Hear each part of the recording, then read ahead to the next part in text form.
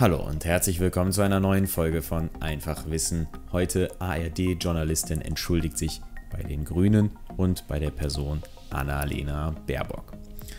Ja, vor einigen Tagen war Annalena Baerbock beim ARD Sommerinterview zu Gast. Eine ganz normale Sache, wenn man als Politiker in diesen Sommer geht. In den letzten paar Sommern wurden immer wieder die Sommerinterviews geführt mit den ja, Spitzenleuten der unterschiedlichen Parteien.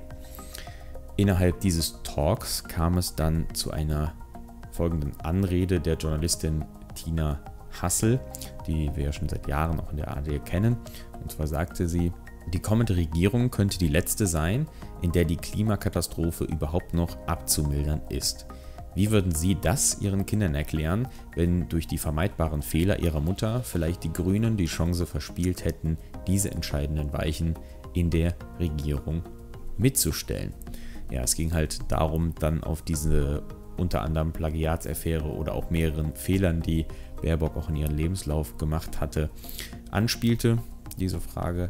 Und äh, dadurch, dass natürlich auch immer wieder von den Grünen behauptet wird, dass die Kinder ihren Eltern später Vorwürfe machen würden, ähm, war diese Frage berechtigt oder unberechtigt. Das ist jetzt je nachdem, wie man das interpretiert.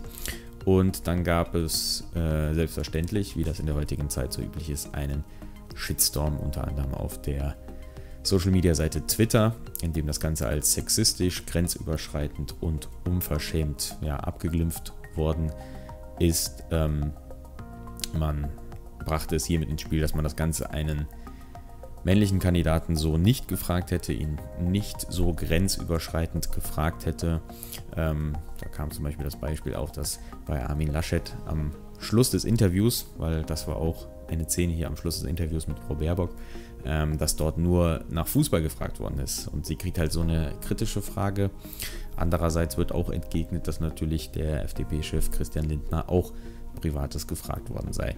Irgendwo steht das Ganze wahrscheinlich in der Mitte. Was sagt ihr dazu? Ist das Ganze berechtigt? Musste sie sich äh, berechtigt entschuldigen?